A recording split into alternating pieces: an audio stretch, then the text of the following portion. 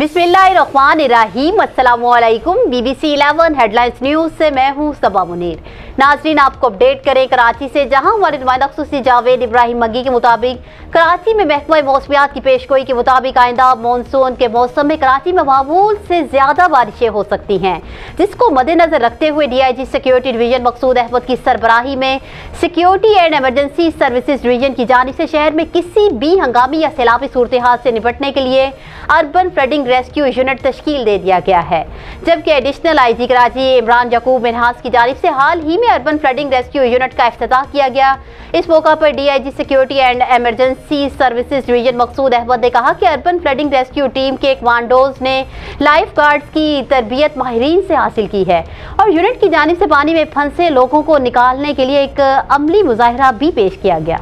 News studio से फिर वक्त इतना ही। मजीद तफसीत और अपडेट्स के लिए देखते रहिए B B C eleven headlines news